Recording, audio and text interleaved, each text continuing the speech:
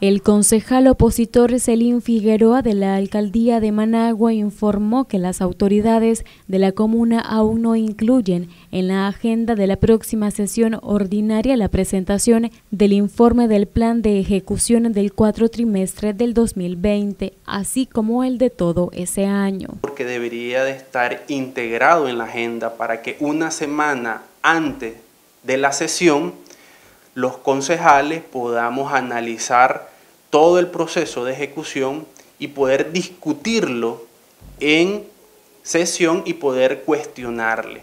Pero precisamente con esa estrategia de no poder discutir, no poder eh, cuestionarle, es que lo presenta eh, de manera sorpresiva y como, eh, como entra un ladrón en la noche.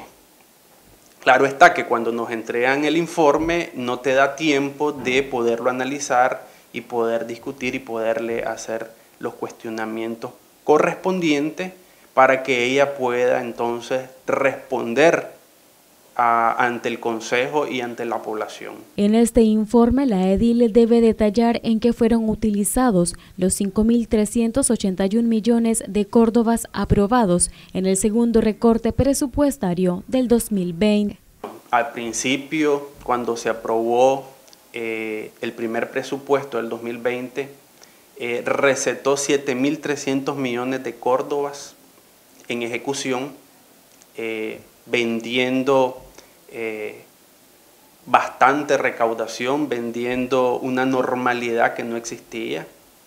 Y en el transcurso del tiempo eh, realizamos dos recortes presupuestarios, quedando en aproximadamente 5.400 millones de Córdoba. Y eso es lo que tiene que rendir eh, informe de qué fue lo que se ejecutaron en esos 5.400 millones de Córdoba. La pandemia incidió mucho en el tema de la ejecución de, en la ejecución de los proyectos.